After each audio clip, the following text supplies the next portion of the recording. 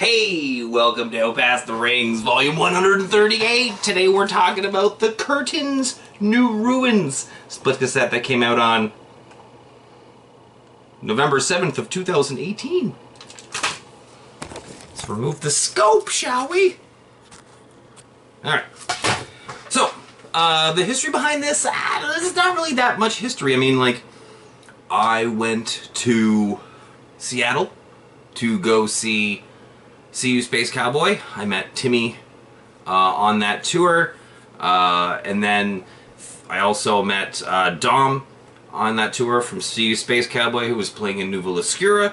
And then in Nuvolascura, Taylor was the drummer for or is the drummer for Nuvolascura. So there's kind of like that connection.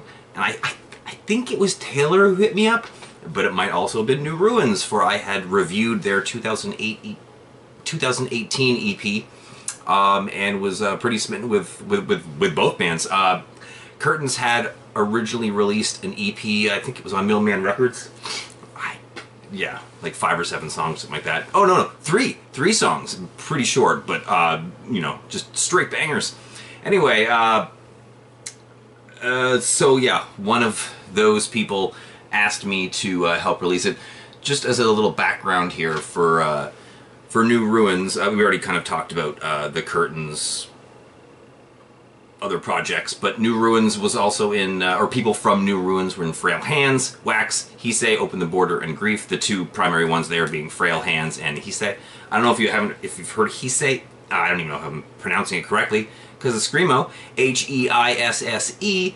Uh, really good emo violence, kind of like King's Girls. Like the East Coast has a very like awesome thing going on, a very small pocket over there. So um, New Ruins belongs in that, but they don't really have that emo violence thing going on. It's almost a metallic hardcore with like elements of post-hardcore and screamo in it. So I think like The Bled, Secret Arms, uh, Lied, Fall of Troy, uh, Seasons Worn, that kind of stuff. It's uh, it's a little bit noodly, um, a little bit like yeah, like metallic. I, the Bled definitely comes to mind.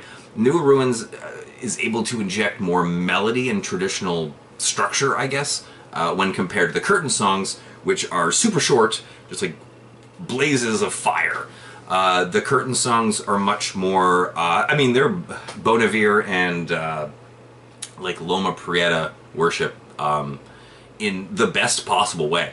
Uh, really, really incredible five songs uh, that they just absolutely rip through in I think pretty much the time it takes uh, New Ruins to do one of their tracks.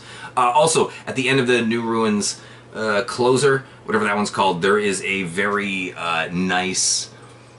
Mm, there's like additional additional instrumentation. I don't know what's going on there. I think maybe it's a violin or something, but it all works out very nicely. Uh, we could have had it all is the name of the track. Um, for the curtain songs, I don't even know if I have a favorite track. Uh, track one is probably my favorite. Track one or three.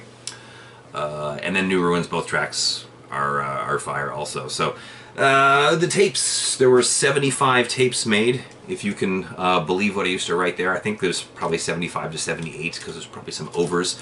I put them in the uh, packaging thing. The art is by Sean Leary of uh, Lone you know, Stormlight, etc. Now Jerome's Dream. There's I guess kind of like two versions of this. Uh, this one here has uh, the Curtains New Ruins um, horizontally, and then the other side is flipped. So, but there is some other versions that have it over the over the actual thing here. So it's like starts New Ruins, and the other side is obviously the curtain side. I thought that was pretty cool. I think I did this one for them for most of them. Uh, it's on sparkle paper. I think every single one of them is on sparkle paper. Uh, you know about sparkle paper. I know about sparkle paper. I talk about sparkle paper all the goddamn time. Uh, the inside has the track listing poorly printed, and this was before I realized that I had to uh, realign my printer because I didn't read the instructions properly. Uh, so you start to notice around these releases that the, the quality starts to degrade sometimes. Um, but I mean, like, the cover still looks really nice, and I mean, it's also on the, the, the sparkle paper. Sparkle paper! Did I mention it was on sparkle paper? Sparkle paper! I mean, sparkle paper, uh, why is the back black? Oh, right, I botched a bunch of these covers. Oh, these covers were so hard to do. As simple as they are, I had a really hard time shrinking the stuff down to be able to get the tracks, track times and stuff in. So these are these are sold out. Um, I wouldn't even say long sold out. I believe we sold out like a month ago.